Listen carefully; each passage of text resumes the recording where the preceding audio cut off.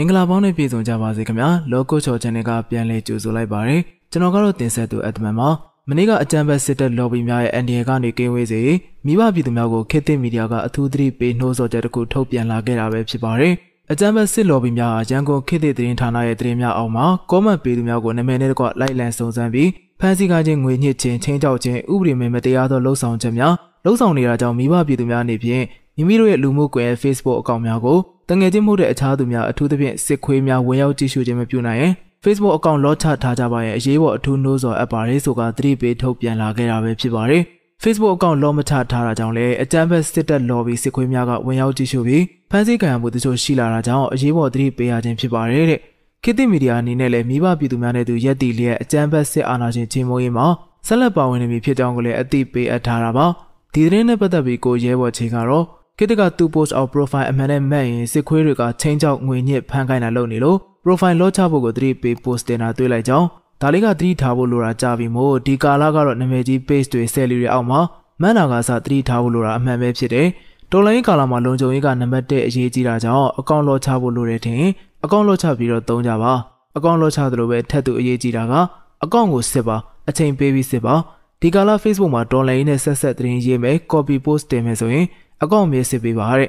ဖြစ်နိုင်ရင် profile အစစ်မသုံးစေခြင်းဘူးကိုကလွတ်မြောက်နေပြီမှာရှိလေကိုမိသားစုနဲ့ကိုအတိုင်းဝိုင်းကလုံခြုံမှုမရှိနေ profile အစစ်မသုံးပါနဲ့ကိုအတွက်စိတ်ချရတယ်ကိုမိသားစုလုံခြုံရေးအတွက်လည်းစိတ်ချရတယ်လုံခြုံမှုရှိတယ်ဆိုတော်လိုင်းအတွက်ပို့လုပ်ပေးနိုင်မယ်ဆိုအကောင့်စစ်သုံးပါ profile အကောင့်စစ်ခြင်းမစစ်ခြင်းနဲ့ကိုသုံးနေတဲ့ Facebook အကောင့်ကတော်လိုင်းအတွက်ဘယ်လောက်အသုံးဝင်လဲဆိုတာပိုရေးကြည့်ပါတယ် ဒီကာလမှာ PDF ကိုထောက်ဖို့မှမဟုတ်ဘူး Facebook မှာအာနာရှင်တော်လိုင်း post တင်မှန်တာတွေ့ရင်သူတို့လက်ထဲမှာဆွဲကျင်တဲ့ပုံမှန်တက်ပြီးမတရားထောင်ချနေတာဒါကြောင့် profile အစ်စ်သုံးမယ်ဆိုရင်တော့လော့ချသုံးပါလော့ချပြီးရင်လည်းမပေါ့ပါနဲ့အကောင့်နဲ့ friend list ကိုအချိန်ယူစစ်ပါ friend list စစ်ပါဆိုတာကိုယ့်အကောင့်နဲ့စစ်ပေါ်မှာအကောင့်နေနဲ့ကိုယ့်စိတ်ထဲမတင်ကားတဲ့အကောင့်ဆိုလုံးဝမထားပါနဲ့ကြောက်တာမဟုတ်ဘူးတော်လိုင်းဆိုတာဉာဏ်ပညာပါဘာမဟုတ်တာအတွက်နဲ့ကိုယ်လုံခြုံရေးမထိခိုက်တာအကောင်းဆုံးပါ ဒါအပြင် Facebook ဖြစ်ဖြစ်ပြင်ပမှာဖြစ်ဖြစ်ကိုယ်နဲ့ကြောက်ကစားဖြစ်ပူတဲ့သူတွေရန်ဖြစ်ပူတဲ့သူတွေဆိုရင်အနီပဲဖြစ်ဖြစ်အစိမ်းပဲဖြစ်ဖြစ်အကောင့်တွေမှာမထားပါနဲ့လူတွေရဲ့စိတ်ကကြောက်ဖို့ကောင်းတယ်ဒီကာလဘသူ့ကိုမှမယုံတာကောင်းတယ်ကိုလုံခြုံရေးကနံပါတ်1ဖြစ်ပါတယ်။ဒါအပြင်ကိုယ့်အကောင့်ထဲမှာမိမိတို့နေထိုင်ရလိပ်စာတွေ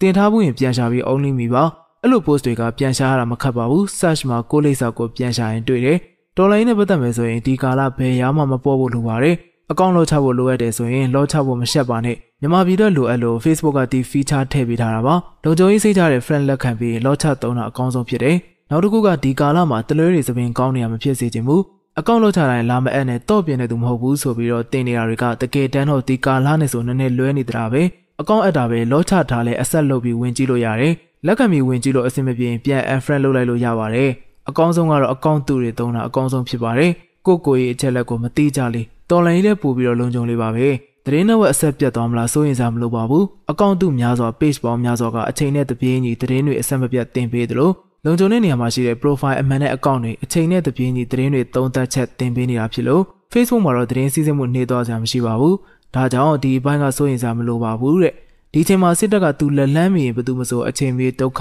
ပေးနိုင်မတရားလုပ်နိုင်တဲ့ဖန်ဆီးနိုင်တယ်။ဒါကြောင့် online နဲ့ Facebook သုံးရင်လုံခြုံရေးပိုင်းကိုအထူး queue site ပေးကြပါဆိုက၎